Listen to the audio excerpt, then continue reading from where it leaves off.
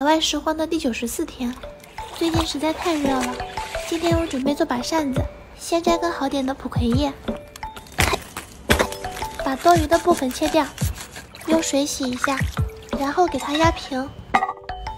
你们这里怎么一根草都没有？多吃点，别客气。哎，这些衣服挺漂亮的，把最好看的部分切下来，用来做辅料。线也要留着。都准备好啦，趁这个时间把饭也煮上。最近太热了，也没什么食欲，就做碗冰镇杨梅汤吧，应该平了。最后再把边缝上，这样就不会散开了。精致吧？汤也煮好了，放盒里冰一下。小布都等急了。你从哪弄的骨头？那我可不给你留了。山上的杨梅好甜呀。真带劲，就是蚊子有一点多，